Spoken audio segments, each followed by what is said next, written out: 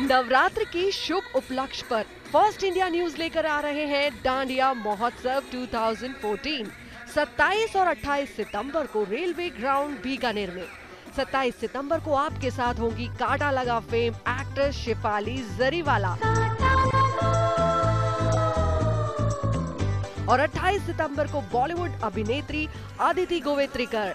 और साथ में कई बॉलीवुड स्टार्स आपके साथ खेलेंगे डांडिया रास तो स्वागत है आपका इस शानदार आयोजन में।